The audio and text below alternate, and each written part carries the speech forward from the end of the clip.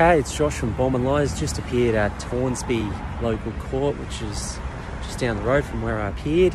Um, today I appeared on quite a uh, unusual, serious matter, I guess. Uh, it was a mid-range offence, uh, and uh, .120 was the reading. Unfortunately, um, our client uh, had a collision, and of all things that he crashed into was a, another police vehicle. Um, now, the collision wasn't huge, it uh, was relatively minor, small damage to the vehicle, but of all things, it was a police vehicle. They quickly breath tested him, and it was 0.120 the reading, so um, not a very uh, good or lucky day for our client.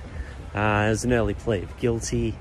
He um, did the traffic offenders program, uh, got a letter from um, his parents and uh, his partner, and an apology letter from him, and uh, one uh, from his work explaining that uh, he does need to drive in order to um, perform his job to a degree. He works in a motorcycle uh, repair and uh, mechanical shop where he's required to do a lot of vehicle testing. Fortunately, his boss hasn't sacked him.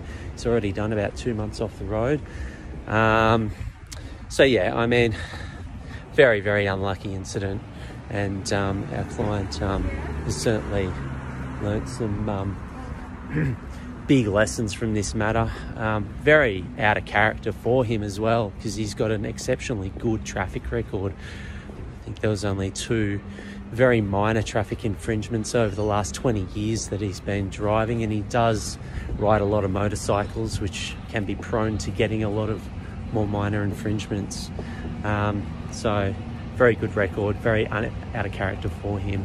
Uh, highly unlikely this sort of matter will ever happen again for him. Um, we were able to um, persuade the magistrate to reduce the disqualification period to the minimum period of three months. That was backdated to the date of the offence, as mentioned. It's already done two months off the road. Uh, he does have to do the uh, mandatory 12 month interlock program, and um, he was given a heavily reduced fine, probably due to the uh, damage he has to cover for the um, accident. He was given a $450 fine for the drink drive. There was also a second charge of fail to give way which is why he actually made contact with the police and he was given a $300 fine for that offence. Um, all in all, um, we were able to reduce the uh, penalties quite significantly in relation to the fines and the disqualification, and our client was uh, very happy with the outcome. Thanks for tuning in today. We've been here at Hornsby Local Court.